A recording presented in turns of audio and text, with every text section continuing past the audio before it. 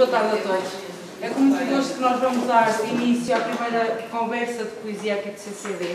A, a pessoa que nos vai ajudar a levar a poesia a todos, Arnaldo Trindade, que está aqui connosco hoje.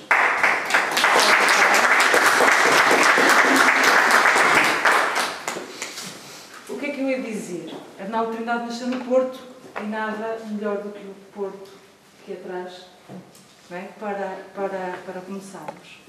Uh, a poesia, desde muito novo, a poesia está presente na vida, através dos professores na escola, que deixaram aquele bichinho de, para depois começar a criar. Foi o fundador do Orfeu, da discográfica, e conseguiu uh, gravar e privar os maiores nomes da, da música e da poesia em Portugal. Hoje também escreve, já editou dois livros e vamos ter com ele também a acompanhar Romi e Pedro, não é? que vão ajudar a arrancar com as nossas conversas de poesia hoje. Uma salva de palmas para os três.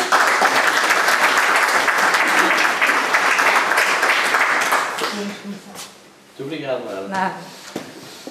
É um prazer estar aqui, falar sobre poesia. Até o tempo está bonito para a poesia, não é? Está cinzento. E, portanto, eu vou começar a falar daquilo que eu entendo do que é poesia. Em primeiro lugar, eu acho que a poesia não se aprende, mas aprende-se a gostar ouvindo-a, lendo-a, dela falando, sobretudo amando-a. A poesia entra por osmose, mas entra quem tiver a sensibilidade para receber. E o poeta é um simples agente catalítico. Eu vou dizer, para começarmos e entrar no, no ambiente de poesia, um poema que eu escrevi neste segundo livro, em que digo que a poesia não se aprende. Poesia não se aprende nem na escola, nem na universidade, não há faculdade de poesia. Há a felicidade de se nascer com o dom de em si elevar como poeta de alma sublime, em corpo rejeitado até ao suicídio. Ou no disperso em heterónimos, afogados em absintos. Ou estigmatizados no dedo do amor proibido. Ou no narcísico, maníaco admirável ao espelho de Dorian Gray ou então dividido o amor que havia entre Deus e o diabo, ou ainda da amável dureza como rocha sem cinzel, acre como torres do Douro, ou etérea como a de luz a deusa helénica de sabedoria, cada palavra sendo água, de rio, mar, da natureza, envolvendo-nos em beleza. E também os poetas ignorados, como que ousou reinventar o amor, Deluar repetindo au bout du chagrin, une fenêtre ouverte, une fenêtre éclairée. Poeta assim, professores de literatos, ensinando a toda a gente, de modo claro e urgente, que vale a poesia. Um sendo humanista, mas sobretudo de entranhado amor à terra e seus jus o outro, companheiro de Pessoa, de Sacarneiro e todos os andantes de Orfeu. Ou aquele poeta discreto, refletido, emergindo da rusticidade banal, vivendo em Parnaso, São João de Gatão. Para ser poeta é preciso nascer poeta e numa catarse exprimir-se sem sentimentos mitigados. Agora, pela poesia libertos, participar sem reservas no trajeto da existência e para as folhas nuas e virgens pôr as palavras certas da brancura de um alvo papel. Isto é que é o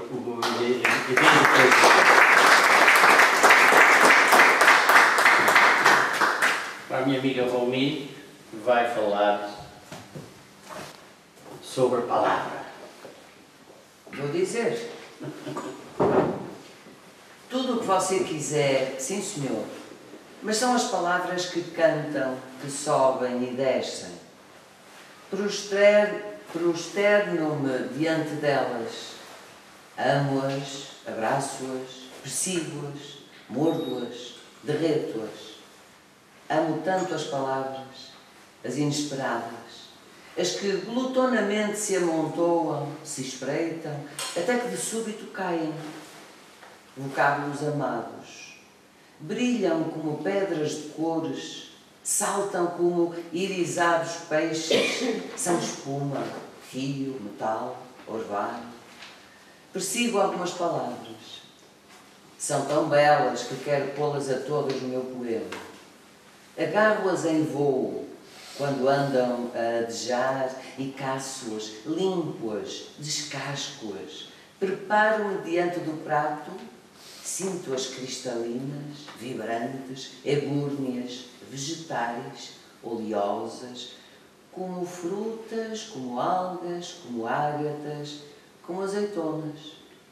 E então revolvo-as, agito-as, bebo-as, trago-as, trituro-as, alindo-as, liberto-as. Deixo-as como estalactites no meu poema, como pedacinhos de madeira polida, como carvão, como restos de naufrágio presentes das ondas. Tudo está na palavra.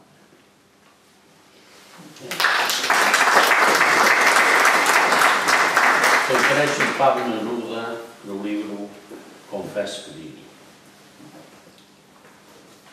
Quando eu disse há faculdade de poesia, não quer dizer que não haja professores de poesia.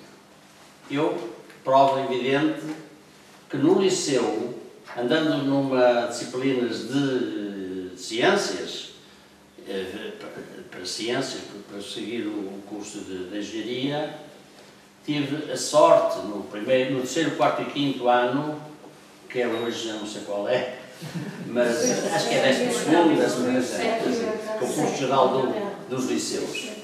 Tive a, a sorte, o privilégio de, como professor de português, um senhor chamado António Cobeira. É capaz de não dizer nada que é o António Cobeira. O António Cobeira fez parte do Orfeu. Era amigo íntimo de Fernando Pessoa e do Márcio Sá Carneiro Portanto, ele, em vez de nos obrigar a dividir as orações Lusíadas, que fazia com, que nós odiássemos os Lusíadas para a vida inteira, eh, dividíamos as orações, com certeza, mas noutros, noutros textos, e dizíamos poesia. Quer dizer, nós com 14, 15 anos, estávamos a dizer Sá Carneiro e Fernando Pessoa, e outros numa altura que nem havia ainda os livros deles nas livrarias. O Pessoa morreu em 1935, só com um livro editado, só concorreu a, uma, a um concurso literário que perdeu, foi segundo lugar.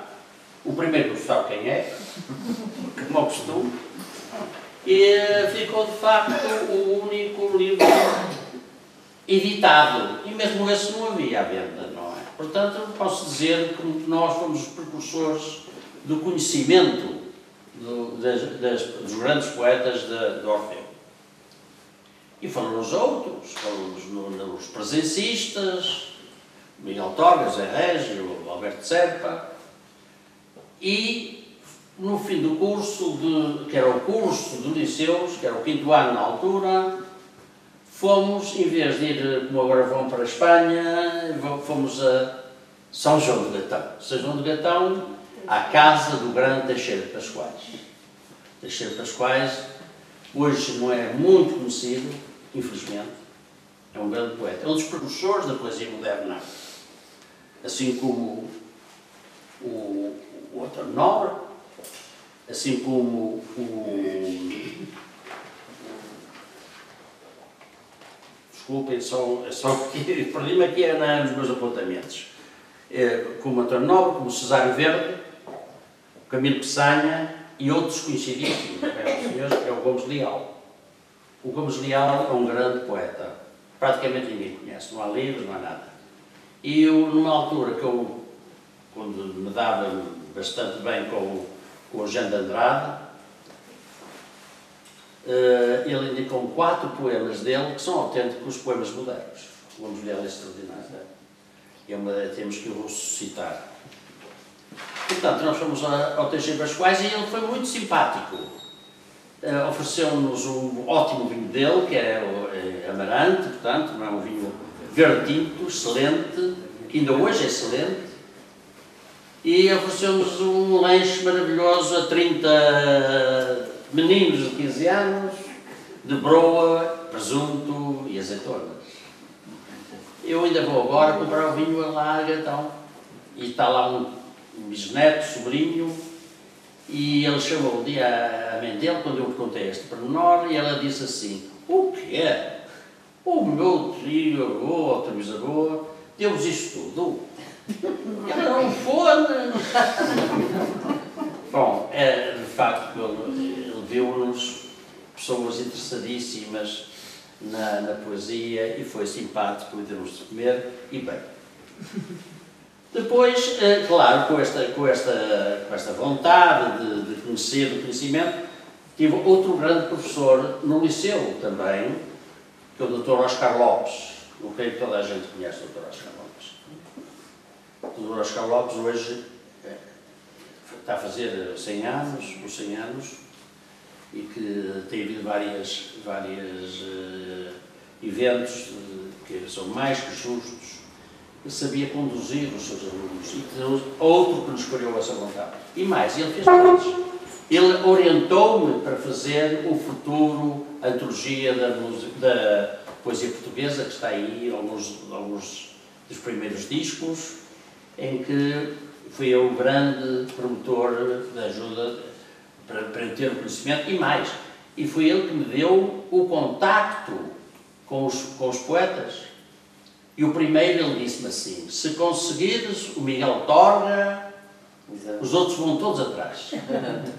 Porque Miguel Torga era conhecido, que nem sequer dava um autógrafo a ninguém.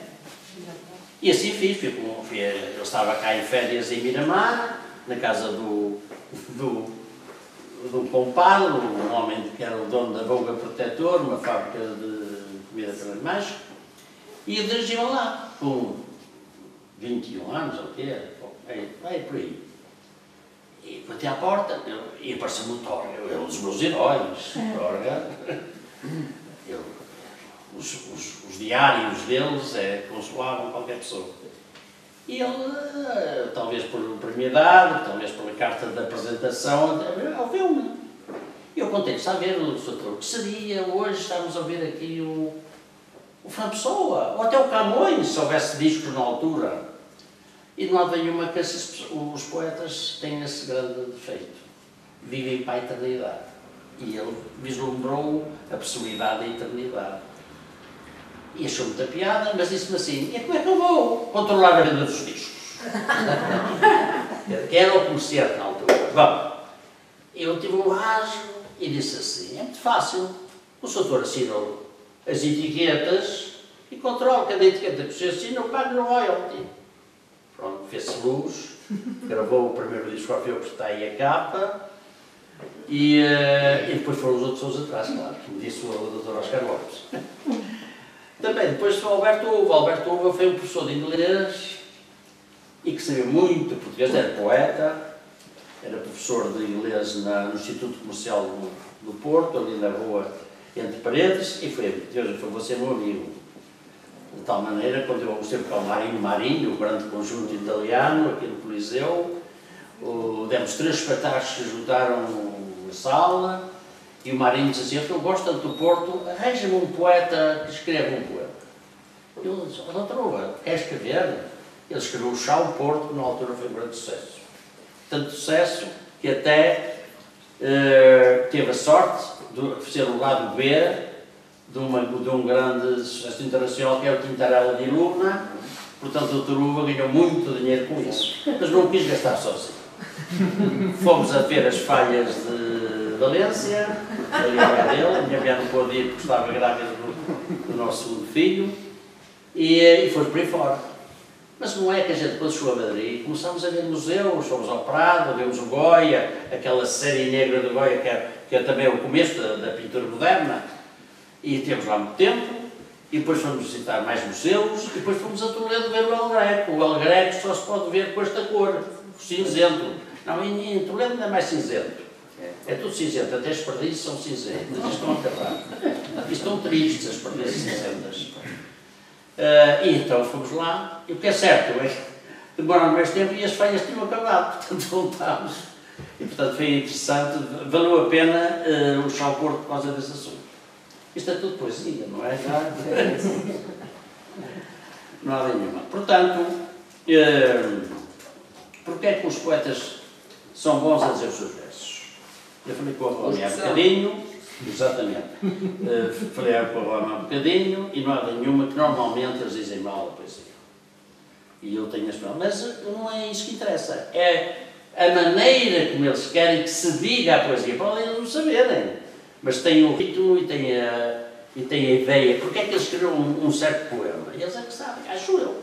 Portanto, no caso que é evidente, que é do Zé Régio, Cântico Negro, onde eu gravei, porque na altura gravávamos, no, eu tinha uma, uma loja em frente ao Majestic, em Santa Catarina, e só se gravava depois das duas da manhã, quando terminavam os elétricos.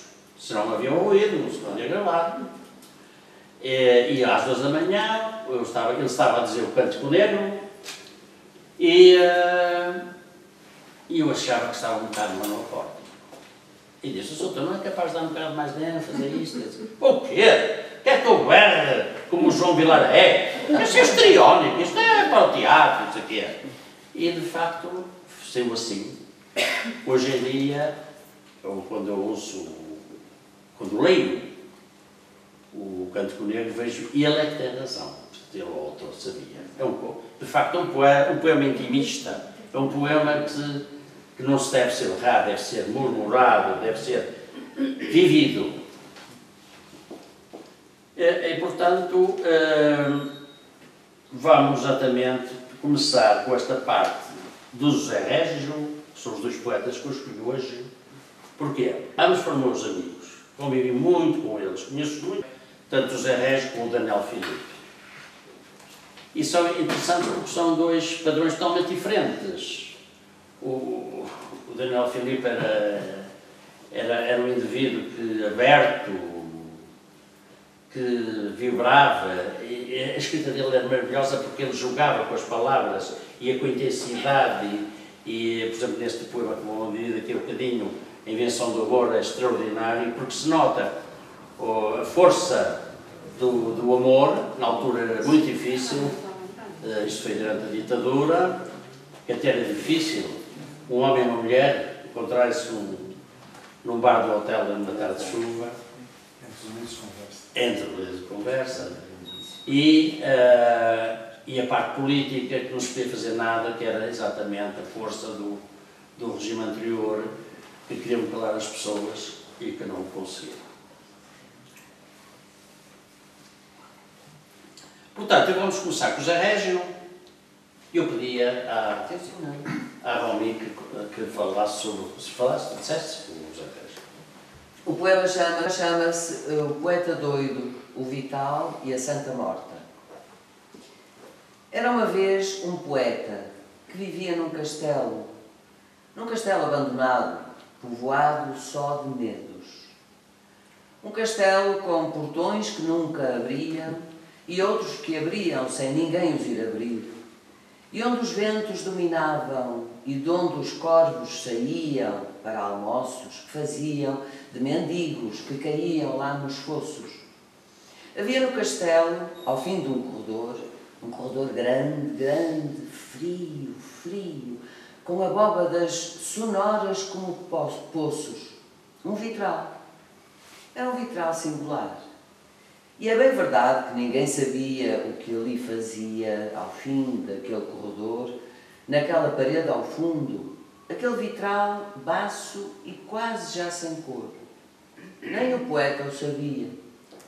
Nem o poeta o sabia, muito embora noite e dia meditasse no vitral, quase sem cor, que estava para ali na sombra do fundo do corredor, com ar de quem aguardasse. Quando, a meio da noite, o poeta acordava, levantava-se e até dia delirava. Era a hora do medo. E passeava, delirando, pelos longos corredores, descia as escadarias, corria as salas. Sob os seus pés as sombras deslizavam. Pelos recantos os fantasmas encolhiam-se. E devagar, bem devagar, no escuro, portões abriam-se e fechavam-se e giravam sem rumor. O poeta só parava diante do tal vitral ao fim do tal corredor e sonhava Sonhava que, para lá daqueles doirados velhos, daqueles roxos mordidos, que morriam sobre o fundo espesso e negro, havia. Mas que haveria? Qualquer coisa bem ao perto que o chamava tão longe. E mudo ali ficava até ser dia, enquanto os ventos lá fora fingiam mortos a rir enquanto as sombras passavam, enquanto os portões rodavam, sem ninguém os ir abrir. Mas um dia, eis ao menos o que dizem, o poeta endoideceu. E fosse Deus que o chamasse, o diabo que lhe deu, não sei. Sei que uma noite, a horas desconformes, o doido levantou-se, nu e lívido, com os cabelos soltos e revoltos, a boca imóvel como as das estátuas, os olhos fixos, sonâmbulos, enormes. Pegou no achote, desceu escada a escada, a muda escadaria, seguiu pelo corredor. Em derredor, as sombras doidas esvoaçavam contra os muros. Lá, muito longe, o vento era um gemido que morria. Ao fim do tal corredor havia o tal vitral. E de golpe, como de um voo em linha reta, o poeta doido ergueu-se contra ele, direito como uma seta. A cabeça ficou dentro, o corpo ficou de fora.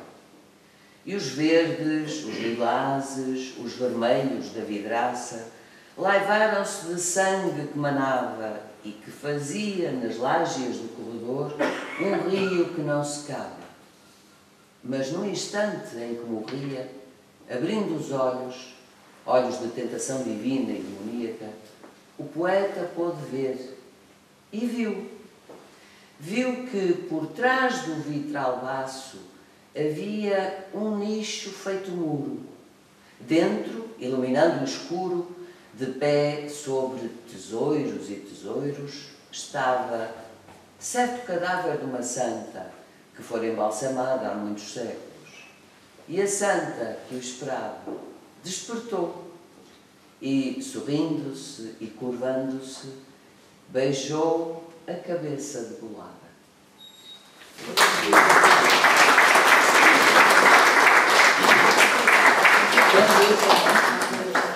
Os arranjos não dizia tão bem como dizem.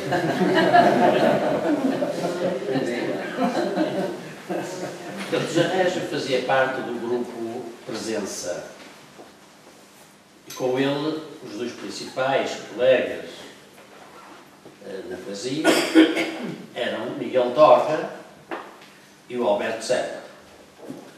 Miguel Torga é um dos maiores poetas portugueses e o Alberto Serra não tão grande, mas muito interessante. E é pena também que a, que a, obra dele não seja conhecida, tem coisas muito interessantes, sobretudo umas, umas, os poemas que ele fez em Paris, uh, muito bonitos mesmo. E eu, eu gosto imenso do Alberto Serra, porque é uma pessoa encantadora como pessoa. E foi ele que me ajudou na, na prospecção do mercado da altura. Não havia mercado para a poesia. Havia mesmo o princípio de tudo. E então fomos a Lisboa com os discos, mostrar às livrarias. Foi uma grande surpresa e foi muito bom porque ele é um ótimo companheiro. E depois com ele tivemos, tive a sorte de conhecer uma data de poetas lisboetas e, uh, e que me deu prazer, claro, muito facto um conhecimento de muita gente, não só poetas, mas prosadores, que deu também o seguimento a, a esta obra de poesia, também uh, uma antologia de, dos, dos prosadores portugueses, em que está incluído o Cris Ribeiro, o Freire Castro, o, lá, o, o, o, o Zé Luís Miguel, que é um grande contista, que não existe praticamente hoje nos livros dele, também outra, outra falha, e Portugal está falho de contistas. Há muitos poucos contistas. Que eu conheça, os melhores, é o Miguel Torre, é o, é o Domingos Monteiro e o João da José Porto. E é um muito interessante que é Espinho, que é o Marmelo e Silva, que sobretudo tem contos de fantasmas, fantásticos. É muito interessante. Portanto, a gente toda, não é?